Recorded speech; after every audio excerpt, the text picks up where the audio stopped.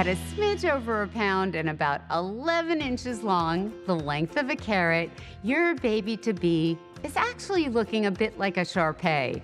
Very cute, but still very wrinkly, with skin hanging loosely from that little body. But don't worry, the fat is about to start catching up. Beginning this week, your little puppy begins to pack on the pounds. In fact, doubling that baby weight during the next month.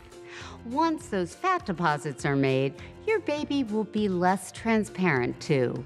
Right now, the organs and bones can still be seen through the skin, which is cellophane thin and has taken on a reddish cast thanks to the vivid network of blood vessels developing underneath.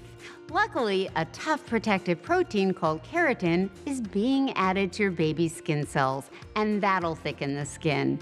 By month eight, baby won't be see through anymore. Your little one's lungs are maturing slowly but surely. Small capillaries are forming in the lungs, and specialized lung cells called pneumocytes are developing.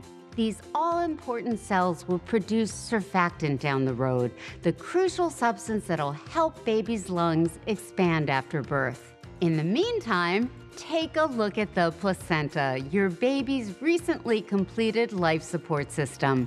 The pancake shaped placenta is attached to your uterine wall and connected to your baby by the umbilical cord.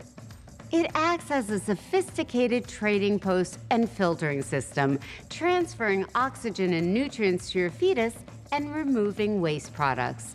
It also protects your baby, serving as a sort of fetal security checkpoint by preventing harmful substances and infections from passing from your system into your baby's.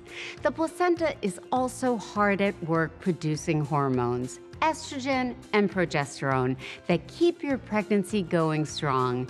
Pretty impressive for a network of blood vessels.